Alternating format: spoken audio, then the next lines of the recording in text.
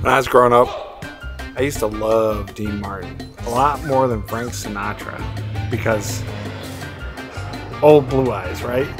That's like the easy cop out. You just like Frank Sinatra. Dean Martin was real deal. And he used to wear a fragrance called Woodhue. And guess what Doug did? Or Dougie, as I like to call him. He came out with Black Shroud in 3D. And guess what? It is a homage to Woodhue. Pretty tight.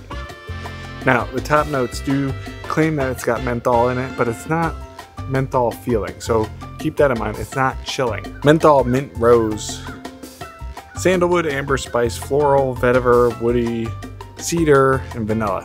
Here's the deal. Smelling it, it it's just a it's a lovely scent. It's warm. It's comforting. It feels great.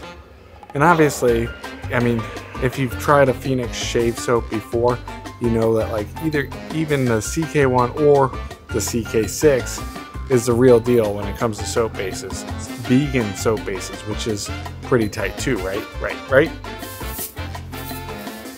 The tree says, Yeah, vegan. Come on, son. Using it.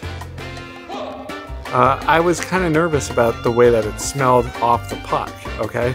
Because it's a very strong scent off the puck. But once you lather it up and get it on your face, it really calms down and it goes back to that light medium fragrance that I like, the scent strength that I like. Now, the aftershave and splash, whole nother story. That is lovely to the T. I felt like I felt like Dino. I was like, hey, I'm in the Rat Pack. Then I like, when the moon hits your eye like a big pizza pie, that's amore. And when Black Shroud in 3D hits your face, that's amore. Oh, check it out. It's good stuff. If you need like a fall scent, I like the aftershave splash a lot. The soap, I mean, it performs well. Don't necessarily need that smell in the soap, but I like that it's there. But the aftershave cologne splash, that's that's where it's at.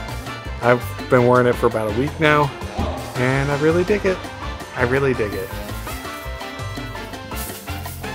That's amore. And if you want to check out the five best ASMR razors, you can check that out right here or a different video over here.